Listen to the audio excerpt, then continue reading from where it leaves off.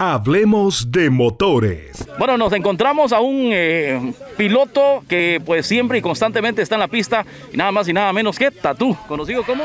Tatú, legítimo Tatú, Einer Delgado yo, para servirles. Einer, cuéntenos cómo se portó el vehículo en este primer hit de competencia. Hay meses esperando muchos vehículos y bueno, ¿qué nos puede hablar de la pista y con respecto al vehículo?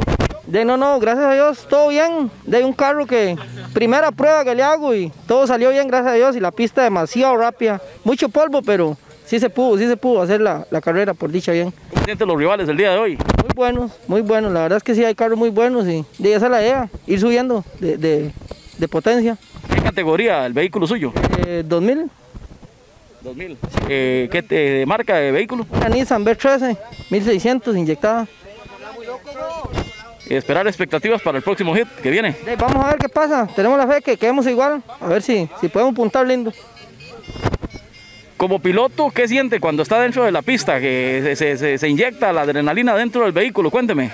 más bien es al contrario, como que se le olvida a uno todo y uno desea como volar, pero no, no, es una adrenalina demasiado, muy, muy, muy, muy grande lo que siente uno.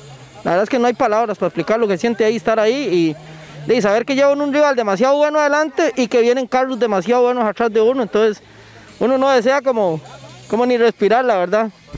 Eh, bueno, hay mucho polvo, hay mucho polvo, esto eh, dificulta un poco la visibilidad, de, en este caso de los, de los pilotos, ¿verdad? Pero sin embargo, pues eh, creo que es, manejable.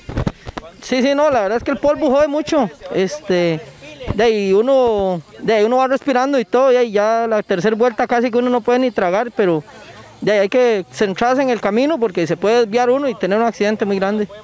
Hablemos de motores.